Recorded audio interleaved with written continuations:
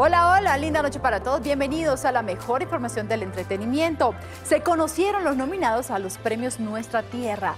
Aquí está el listado de los artistas que se destacaron el último año.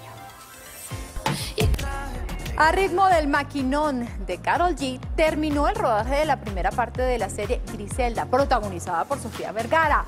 Atención al combo de colombianos que hacen parte de esa superproducción. Se los tenemos en nuestra ronda de chismes chismes.